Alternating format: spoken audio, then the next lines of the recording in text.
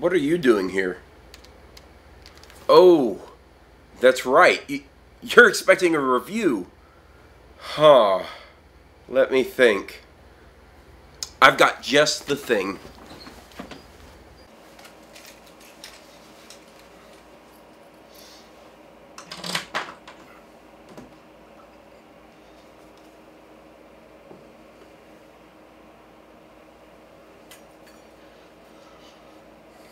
Right.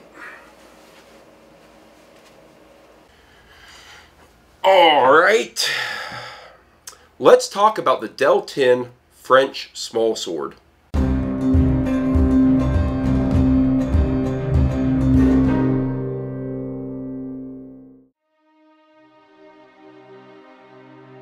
The small sword, also known as a dress sword and a court sword, is a small single-handed weapon which developed in the 17th and 18th century out of the rapier.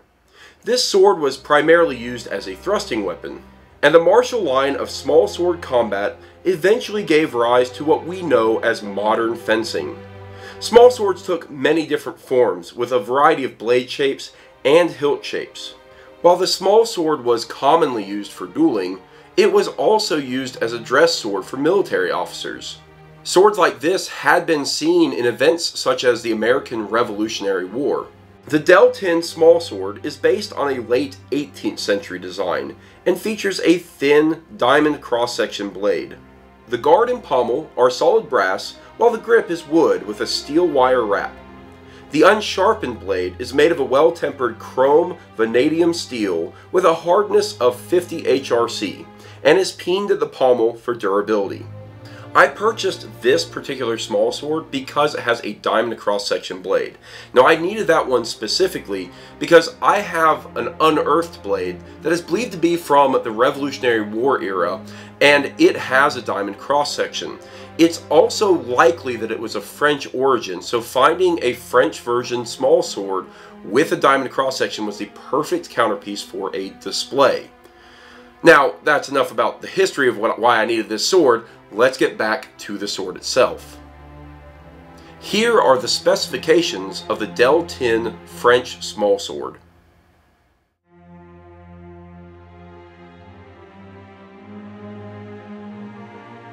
To speak about the aesthetics of a small sword, I have to give you a bit of history on well, how these things were made and also how they were viewed by society. You see, small swords were not too dissimilar from rapiers in that very often the quality of materials and how well they were constructed would seem like a direct reflection of your standing in society. So if you were rich or powerful, like, you know, an officer in the army, you might have a very, very nice small sword.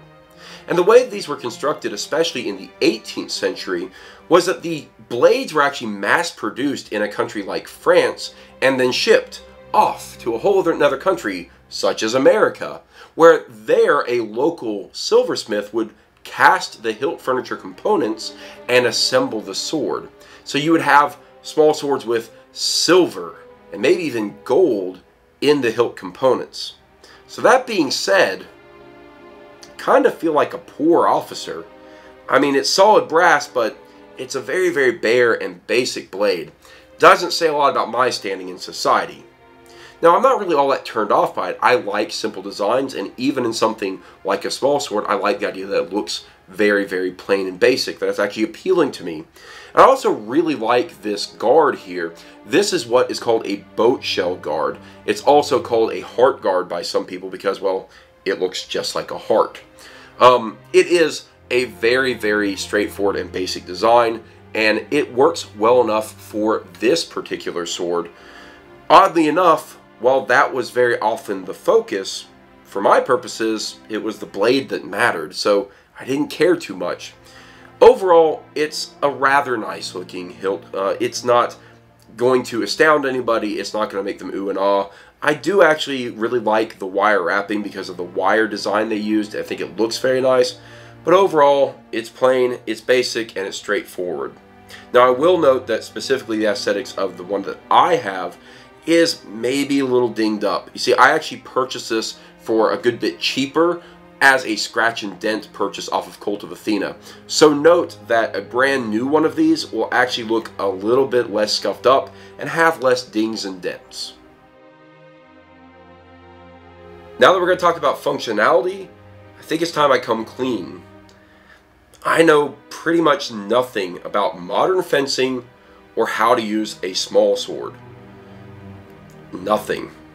See, I, I, know a lot about long swords and, and things such as that because that's been my primary interest, but all the stuff that goes into that kind of martial combat or even sport combat is something that I just don't know a lot about.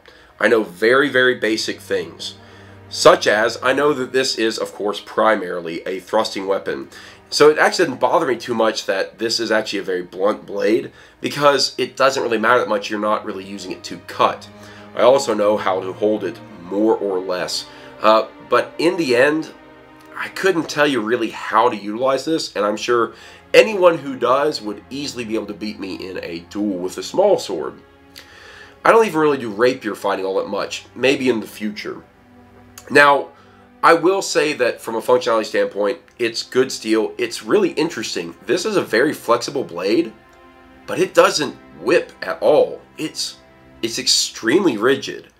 Very interesting because I don't really know how they achieve that because it's a very thin blade, uh, both in in thickness but as well as width. And I don't know how they made it not whippy, which is actually really interesting because I've, I've messed with it some to see how the point control is, and it's really quite good. I, am very happy with the point control with this blade. Uh, I didn't do a lot of thrust tests with it because, well, it's going to pierce something and okay. Uh, but overall, yeah, it works. It works as a sword. I will note that my particular sword, which mostly I'm going to use for display, is a little bit rattly in the hilt component, uh, specifically right here in the crossguard. Uh, it is not quite as aligned, and you can just barely hear it. Uh, but that's okay because again, I'm not really planning on using this all that much. So from a functionality standpoint, not knowing a lot about small sword combat, or really even what the most important traits are in a small sword, I can say as a general sword lover and someone who collects a lot of different types of swords, I think it's actually quite nice. I, I actually like it. I would think it would be dependable as a small sword. That said, I would be interested to see what people who are more an expert would actually say. So if you have any thoughts on what makes a good small sword, maybe post down in the comments and I can modify my description of this and speak to some of the other things that I don't really know what to talk about. Well, that's it. Let's move on to the conclusion. I'm going to go ahead and reiterate what I said before. I purchased this specific small sword because of its blade design. Specifically that has a diamond cross section. And that was because I wanted a small sword with a diamond cross section as part of a display with an unearthed blade that came from about the 18th century with a diamond cross section. This is a small sword blade and I even think that it came from France, so finding this specific sword was an incredibly exciting thing. It's one of the few out there that kind of meets those criteria. But this is a very important thing for me to bring up because that is why I purchased it. And that is why I was willing to purchase it. But at the price point they're asking, at sometimes just over $400, I don't know that I actually normally recommend this sword for purchase.